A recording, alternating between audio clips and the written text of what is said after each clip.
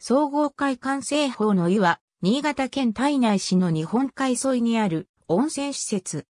越後の里診断成人が運営しており、もっぱら製法の湯と略称される。総合会館製法の湯は、法産会事務局と同じく全高40メートルに達する診断成人立像が目印の宗教施設の一部であるが、入浴料を払えば誰でも利用が可能な温泉施設となっている。本施設は2000年12月に開業したが、自己資金で施行してきたために、その時点ですでに17年以上の歳月が経過しておりひなびてきていた。本温泉は JX 石油開発が所有している中条油業所が開発した水溶性天然ガスの構成から動力上げ湯で供給された寒水を源泉としている。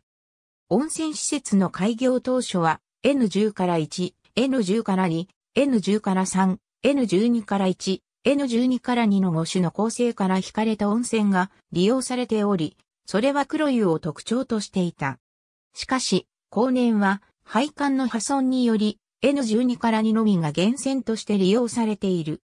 新潟大学の積雪地域災害研究センターの研究を通じて、新潟県環境分析センターが温泉に含まれる主成分の分析を行っている。この温泉にはアンモニウム、臭化物イオン、溶化物イオン、鉄化物、イオンメタ計算イオンが含まれ、入浴中はもちろんのこと入浴後もなかなか取れない独特で強烈な周期を特徴としている。この源泉は500万1000万年程度前に地下の岩石層に取り込まれた海水であり、世界的に珍しく高濃度の石油、天然ガス付随水に高濃度のヨウ化物イオンを含む。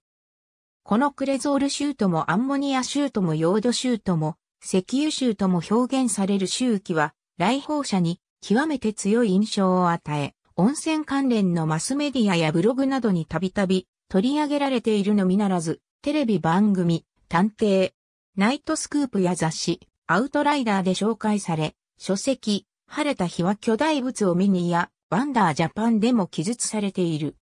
また、温泉シンガーソングライターの爆山が、この温泉をテーマにした歌を作成し、同曲のミュージックビデオを本施設内で撮影している。なお、体内市は利用者に条件付きで、本施設利用時に課せられる入湯税を免除している。ありがとうございます。